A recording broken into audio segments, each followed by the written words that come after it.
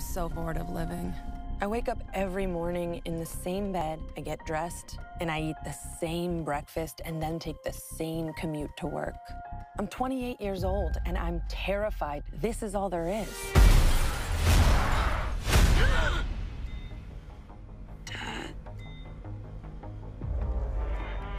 Is this a dream? Well, partly. I know two weeks is a long time for me to be away. If you're feeling weird about anything, just come talk to me and we'll figure it out. You don't need to worry about me because I'm pretty much okay. Pretty much. You're fine, right? I just feel like everyone's messing with me.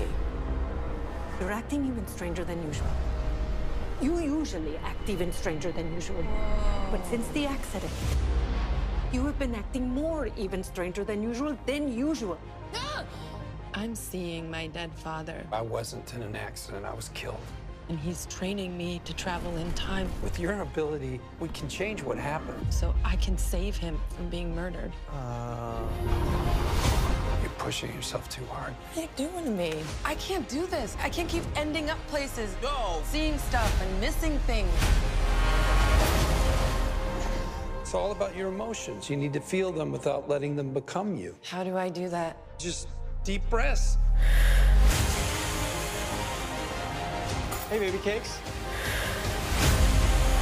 Streams of lifetimes of suffering are carried through your mind and body. Even the good feelings.